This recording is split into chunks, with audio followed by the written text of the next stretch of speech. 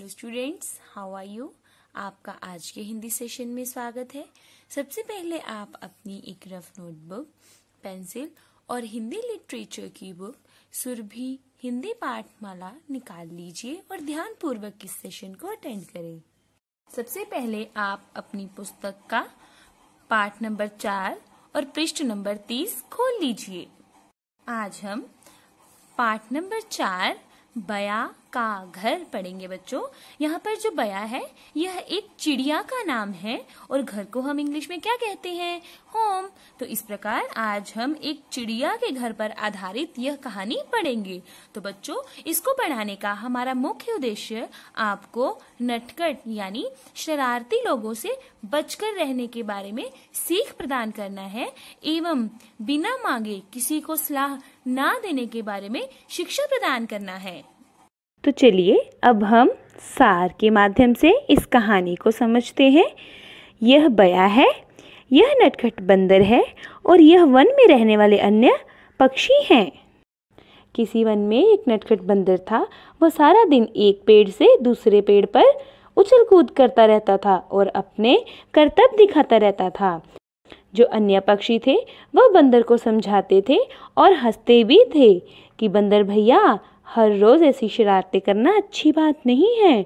यहाँ पर वन में कौन सा डॉक्टर है जो तुम्हारा इलाज करेंगे? लेकिन जो बंदर था, वह किसी की बात नहीं सुनता था।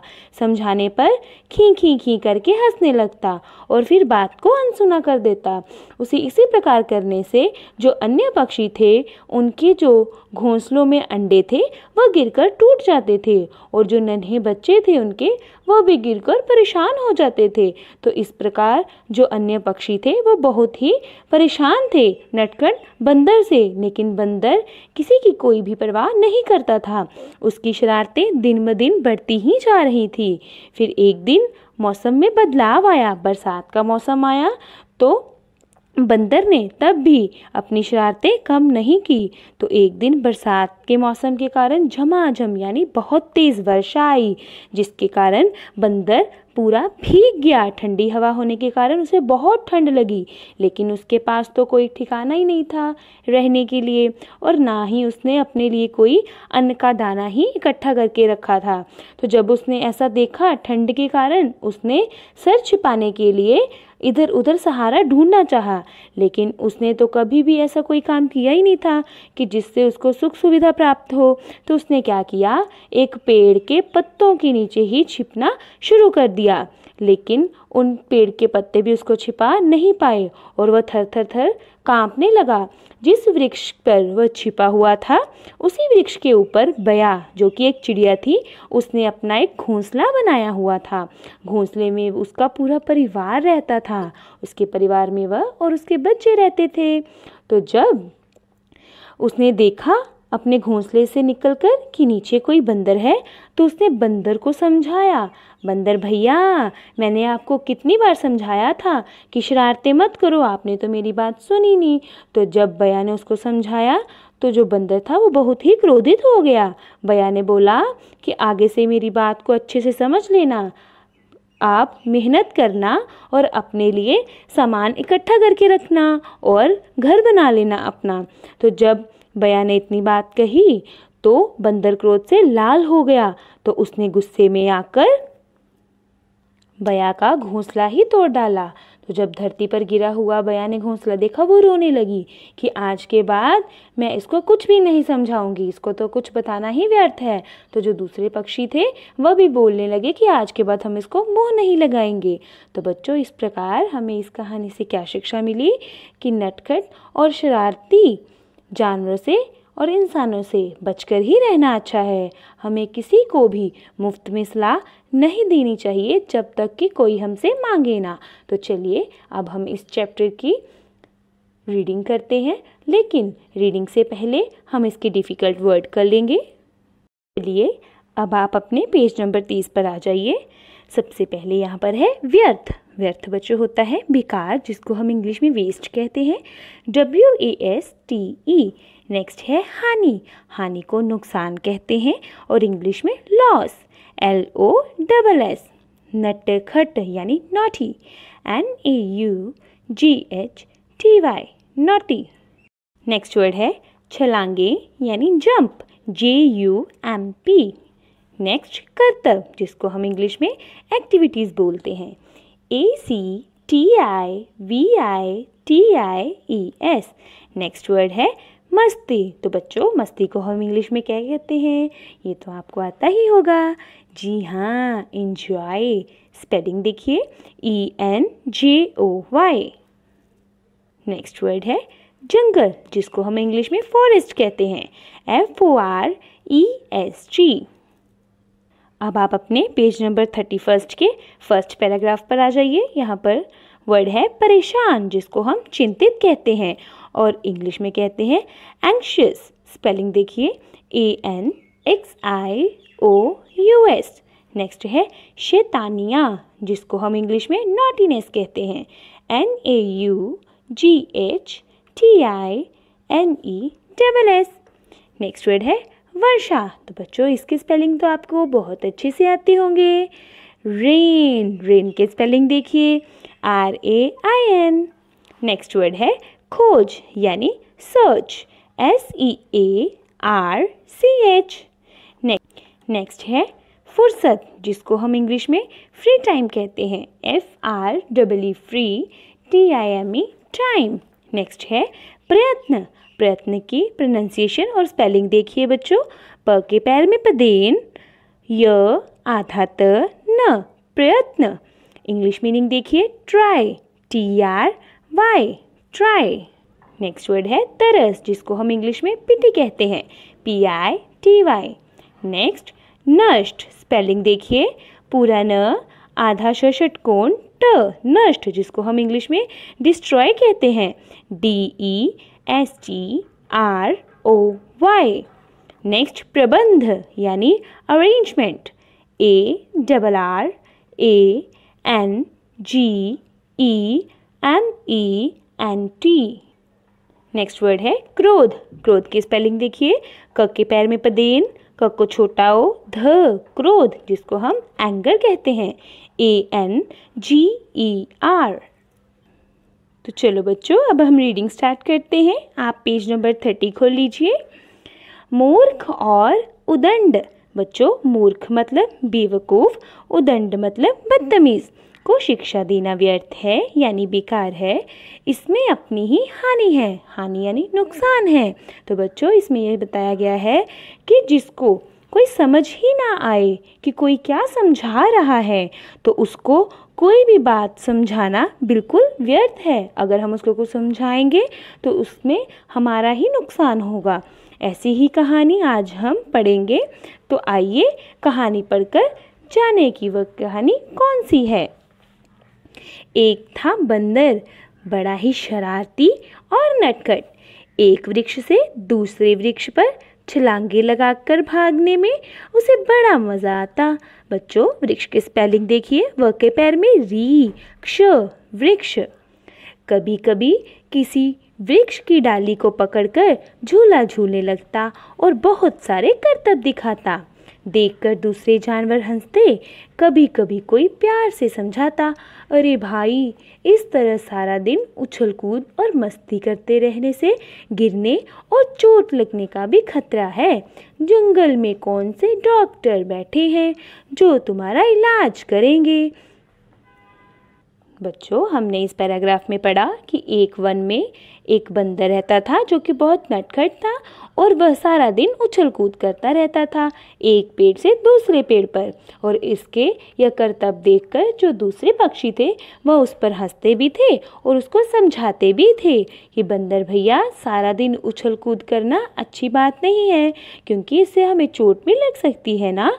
तो हमारे पास जंगल में कौन सा डॉक्टर है कि जो हमें इलाज करके दवा दे दे? तो चलिए, अब हम रीडिंग कंटिन्यू करते हैं।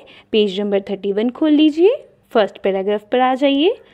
सुनकर बंदर खी खी खी हंसता, फिर उसी तरह मस्ती से उछल कूद करने लगता। बच्चों, यहाँ पर जो खी खी खी है, यह बंदर का साउंड है, जैसे वो हंसता था। पेड़ों पर बार बार उछलने कूदने से उन पर बने हुए पक्षियों के घोंसले भी हिलने लगते। कभी कभी उनमें से किसी पक्षी का अंडा धरती पर गिरकर टूट जाता या कोई नन्हा बच्चों यहाँ पर न पे स्ट्रेस है, क्योंकि पूरे न के बाद हाफ़ न है। गिर, बच्चा गिरकर परेशान हो जाता। उसकी ची ची से सारे पक्षी बाहर आ जाते। बंदर को समझाते। भाई, ऐसी शैतानियाँ मत करो जिससे दूसरों को परेशानी हो। तो बच्चों, इसमें बताया कि जब कोई भी पक्षी उसको समझाता था बंदर को, वो कुछ नहीं समझता था वह सिर्फ़ हंस देता था और फिर से शरारतें करना शुरू कर देता था और उसकी शरारतों से जो दूसरे पक्षी थे, उनको नुकसान भी होते थे, क्योंकि उन्होंने जो घोंसले बनाए हुए थे पेड़ के ऊपर, उनमें जो उनके अंडे थे, वह धरती पर गिरकर टूट जाते थे, और जो नन्हे बच्चे होते थे, वह भी गिरकर बहुत परेशान हो जाते थे। तो इसलिए जो दूसरे पक्षी थे, वो उसको समझाते थे कि तुम शैतानियाँ मत करो, जिससे दूसरे कठिनाई में आ जाएँ। आगे रीडिंग कंटिन्यू करते हैं नेक्स्ट पैराग्राफ देखिए। पर बंदर एक कान से सुनता और दूसरे कान से निकाल देता। दिन बीतते गए धीरे धीरे मौसम बदला और बरसात आ गई। पर शरारती बंदर की आदतों में कोई फ़र्क नहीं पड़ा। वह और भी ज़्यादा बढ़ चढ़कर शैतानियाँ करने लगा। देख देख कर पक्षी कलपते। उन्हें डर था कि कहीं ये शरारती बंदर उनके घोंसलों को ही ना गिरा दे। तो बच्चों, हमने इसमें पढ़ा कि जो बंदर था, वो किसी की बात नहीं सुनता था, अनसुनी कर देता था सबकी बात। मौसम बदलने पर जब बरसात का मौसम आया तो जो शरारती बंदर था, उसने कुछ भी नहीं सोचा। तो उसने अपनी शरारतें जो थी और बढ़ चढ़ कर करनी शुरू कर दी। तो जो दूसरे पक्षी थे वो बहुत दुखी होते थे। कलपते का मीनिंग है दुखी होना, कि कहीं यह हमारे घोंसले को ही ना गिरा दे। रीडिंग कंटिन्यू करते हैं। नेक्स्ट पैरा देखिए। फिर एक दिन बड़े ज़ोर की वर्षा आई। ऐसी झमाझम वर्षा कि सब और पानी ही पानी। झमाझम मतलब बहुत तेज। आकाश में बादल और घटाएँ छा गई थी। बहुत ठंडी हवाएँ चल रही थी। बंदर पूरी तरह भीग गया था। तेज ठंडी हवाओं से भी वह परेशान था। किसी तरह सिर छिपाने के लिए ठिकाने की खोज में था। पर उसने अपने लिए कोई घर तो बनाया ही नहीं था। अपनी शरारतों से भला उसे फुर्सत कहाँ थी? हार कर अब वह वृक्ष के पत्तों में छिपने का प्रयत्न कर रहा था। भीग कर वह थर थर कांपने लगा। तो बच्चों, जब बहुत ज़ोर से वर्षा आई तो फिर क्या हुआ? बंदर भीग गया। भीगने के बाद उसे ठंड भी लगने लगी। तो उसने सोचा, अब मैं कहाँ जाऊँ? वो ऐसी जगह ढूँढने लगा, जहाँ वह अपने आप को सुरक्षित कर ले। तो उसको कोई भी स्थान जब नहीं मिला तो उसने एक पेड़ के पत्तों से ही अपने आप को ढकना शुरू कर दिया। और वह थर थर काँप रहा था। नेक्स्ट रीडिंग कंटिन्यू करते हैं। उसी वृक्ष पर एक बया ने अपने लिए एक सुंदर घोंसला बनाया हुआ था। बच्चों, मैंने आपको बताया था ना कि बया कौन है? जी हाँ चिड़िया। जिसमें बया और उसके बच्चे रहते थे। साथ ही बया ने वर्षा के दिनों के लिए अन्न के दाने। बच्चों, अन्न पे, न पे स्ट्रेस डालेंगे क्योंकि यहाँ पर फिर से न है। हाफ़ न भी है। इकट्ठे कर लिए थे, इसलिए अपने घोंसले में छिपकर बया और उसका पूरा परिवार वर्षा का मज़ा ले रहा था। जब मन होता, वे अपने इकट्ठे किए हुए दाने चुगते और ची ची वाला गाना गाने लगते। तो बच्चों, आपने जाना इस पैराग्राफ में कि जिस वृक्ष के पत्तों में बंदर छिप रहा था, उसी वृक्ष के ऊपर बया, जो कि एक चिड़िया थी, उसने अपना घोंसला बनाया हुआ था। घोंसले में वह अपने बच्चों के साथ रहती थी और उसने वर्षा के दिनों के लिए अपने पास कुछ खाने पीने का भी इंतज़ाम किया हुआ था। और वह मौसम का मज़ा ले रहे थे, दाने खाते और गाने गुनगुनाते। चलो अब रीडिंग स्टार्ट करते हैं। नेक्स्ट पैराग्राफ देखिए। तभी बया ने अपने घोंसले से उचक कर देखा, बच्चों, उचक कर देखा मतलब ऊपर उठकर देखा। उसे वर्षा में थर थर कांपते बंदर पर बड़ा तरस आया। उसने कहा, देखो, बुरा ना मानो बंदर भाई। मैंने तुम्हें कितनी बार समझाया कि अपना सारा समय शरारतों में नष्ट ना करो, बच्चों। नष्ट के स्पेलिंग न, आधा श नष्ट। कुछ आगे का भी सोचो। अगर तुमने मेरी तरह अपना कोई ठिकाना बना लिया होता और बरसात के दिनों के लिए भोजन का प्रबंध, बच्चों स्पेलिंग देखिए, प के पैर में पदेन, ब के ऊपर बिंदी, ध, प्रबंध। पहले से ही कर लिया होता तो आज ये हालत क्यों होती? तो बच्चों, जब चिड़िया ने अपने घोंसले से निकल कर देखा था कि बंदर थर थर काँप रहा है तो उसको बहुत ही तरस आया था और उसने बंदर को समझाने की कोशिश की कि अगर तुमने मेरी तरह पहले से ही इंतज़ाम किया होता तो तुम्हें ये दिक्कत नहीं आती। सुनकर बंदर क्रोध में लाल लाल आँखें करके बया की ओर देखने लगा। तो बच्चों, आज का हमारा सेशन यहीं पर समाप्त हुआ। आशा करती हूँ कि आपको अच्छे से समझ में आ गया होगा। आप दो बार इस कहानी को फिर से रिवाइज करेंगे और अपने मम्मा पापा को सुनाएँगे। अगली सेशन में हम फिर मिलेंगे। तब तक के लिए गुड बाय